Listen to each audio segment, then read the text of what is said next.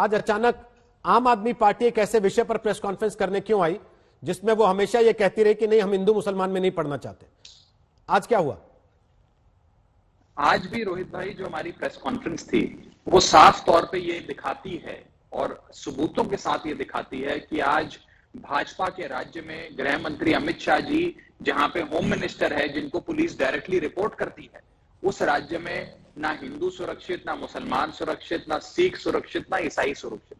और आज हालत ऐसी आ गई है, और अगर आप पीड़ित की और जिस व्यक्ति की हम बात कर रहे हैं, रिंकू शर्मा जी, जिनकी जान चली गई, उनके परिवार वालों का बयान सुने तो वो बता रहे हैं कि कहीं ना कहीं जय श्री राम का नारा लगाने वाले रिंकू शर्मा जी की हत्या हुई है। और क्योंकि जय श्री राम का नारा उन्होंने लगाया तो क्या ये दिन देखने आ गए, रह गए हैं हमें कि भारतीय जनता पार्टी को वोट देकर दिल्ली की जनता ने केंद्र में सरकार उनकी बनवाई। गृह मंत्री अमित शाह जी, जो देश के गृह मंत्री हैं, जिनको दिल्ली पुलिस डायरेक्टली रिपोर्ट करती है, उनके होते हुए जो जय श्री राम कह रहा है, उसकी हत्या हो रही है। और अभी तक गृह मंत्री जी कहाँ है? गृह मंत्री जी बंगाल में चुनाव प्रचार कर रहे हैं।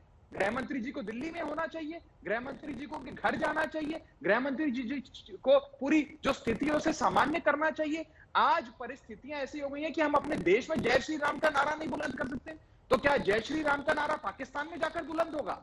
हिंदुस्तान में नहीं होगा। हमारे देश में आज कोई व्यक्ति अगर ऐसा कह रहा है तो उसकी हत्या करी जा रही है और भाजपा क्या कर रही है? भारतीय जनता पार्टी की कानून व्यवस्था भारतीय जनता पार्टी की दिल्ली पुलिस भारतीय जनता पार्टी का शासन गृह मंत्री अमित शाह जी के अधीन आता है और हम देख रहे हैं कि जो जय श्री राम कह रहा है उसकी हत्या हो रही है। कहने की मतलब यह है कि आज हिंदू सुरक्षित नहीं है। आज कोई भी धर्म का व्यक्ति सुरक्षित नहीं है, और ये जो कानून व्यवस्था का मसला बनता जा रहा है इस पे भाजपा को जवाब देना चाहिए गृह मंत्री जी को इस्तीफा तक देना चाहिए। अभी लेते हैं जवाब प्रेम शुक्ला जी से। अमित शाह आपने कहा बंगाल में हालाँकि आज थोड़ी देर पहले वो सदन में बयान दे रहे थे। उस पर छह बजे हम बहस भी करने वाले हैं जो बयान उन्होंने दिया। आपने कहा वो बंगाल में चुनाव प्रचार कर रहे हैं उसके घर नहीं गए। केजरीवाल जी तो दिल्ली में होंगे वो हो आए हैं क्या घर रिंकू शर्मा के? मिला है क्या उनके परिवार से? लॉ एंड ऑर्डर कानून व्यवस्था और सर संवेदनाएँ जताने की बात कर रहा हूँ। मैं कानून व्यवस्था तो प्रेम शुक्ला जी से आपको मैंने वादा कर दिया पूछूँगा। हाँ। मैंने पूछा क्या केजरीवाल जी उनके घर हो आए हैं? आपने आपने वादा किया तो मैं आपकी वादे की पूरी इज़्ज़त करता हूँ सम्मान करता हूँ और जवाब दे देता हूँ।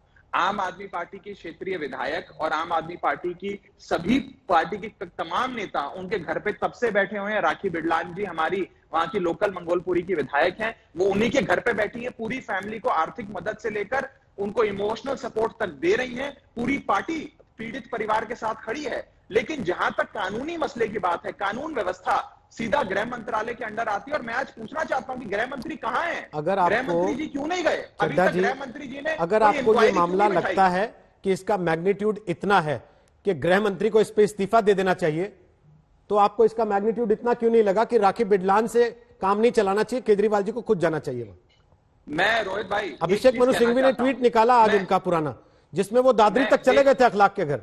अपने शहर में अपने इलाके में जहाँ के वो मुख्यमंत्री हैं सर। वहाँ उनको जाने का टाइम नहीं मिल रहा क्या? रोहित भाई आप ही को भेज देते चलिए। अगर अगर भारतीय जनता पार्टी के शासन में और बीजेपी की पुलिस के अंदर यह हालत हो गई है कि जय श्री राम बोलने वाले की हत्या हो रही है तो आप दिल्ली पुलिस अरविंद केजरीवाल और आम आदमी पार्टी को दे दो। हम देखते हैं कि जय सर ये बात तो आप तब से कह रहे हैं जब आप चुनाव भी नहीं लड़ना चाहते थे शायद। आपकी राजनीति की दुकान भी नहीं खुली थी। मेरा सवाल ये है कि संवेदनाएँ जताने के लिए आपको दिल्ली पुलिस हाथ में चाहिए क्या? किसी के घर जाके दुख जताने के लिए अफसोस जताने के लिए कि मैं मुख्यमंत्री हूँ मैं आपके घर आया हूँ क्योंकि उनको हमने जाते देखा है पहले कई घरों में। राघव जी क्या वो कई घरों में नहीं गए हैं पहले? गए हैं ना? संवेदना तो यहाँ जाने में उनको क्या शर्मिंदगी हो रही है? ये पूछ रहा हूँ हाँ, मैं तो। ना ना शर्मिंदगी कहा? अंकित शर्मा का हत्या हुई अरविंद केजरीवाल जी वहाँ गए। एक तिलक नगर के ऑटो चालक की हत्या हुई अरविंद केजरीवाल जी वहाँ गए। किसी की भी हत्या होती है। अरविंद केजरीवाल जी मौका वारदात पे पहुँचते हैं तो यहाँ जाने में क्यों घबरा रहे हैं? कि आज नहीं हो सकता उनको ये लग रहा है कि वहाँ कोई ये ना कह दे कि एक करोड़ का चेक किसके लिए भी दो। मेरे पास जैसे बाकी जगह देखे आए करोड़ की बात नहीं है। हमारे तो पूरे खजाने खुले हैं कोई बात नहीं है। और हो सकता है आने वाले समय में जाए मेरे पास मुख्यमंत्री जी का निजी कार्यक्रम नहीं है। लेकिन मैं ये कहना चाहता हूँ रोहित जी कि जहाँ तक सपोर्ट की बात है आम आदमी पार्टी की वहाँ की क्षेत्रीय विधायक और पूरी पार्टी उनके घर पर ही बैठी हुई है। पूरी मदद दे रही है सारा अरेंजमेंट कर रही है। लेकिन क्या सवाल आज ये नहीं खड़ा होता कि दो चीज़ें हैं इसमें पॉलिटिकल एग्जीक्यूटिव और एडमिनिस्ट्रेटिव एग्जीक्यूटिव यानी कि जो राजनीतिक जिनकी ज़िम्मेदारी बनती है वो है गृह मंत्री जी और दूसरा पुलिस कमिश्नर जो एडमिनिस्ट्रेटिव एग्जीक्यूटिव हैं। इन दोनों की ज़िम्मेदारी बनती है। दोनों में से एक भी व्यक्ति नहीं गया। क्या आज इसके लिए दिल्ली की जनता ने वोट दिया था इनको?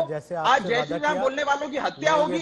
हमें जैसे दिल्ली पुलिस हम देखते हैं कि जय श्री राम बोलने वाले की कैसे हत्या होती है। नमस्कार मैं हूँ अंजना ओम कश्यप हमें उम्मीद है ये वीडियो आपको पसंद आया होगा। लेटेस्ट खबरों के लिए यूँ ही देखते रहिए आज तक और इस वीडियो के पसंद आने पर लाइक शेयर एंड सब्सक्राइब करना ना भूलें।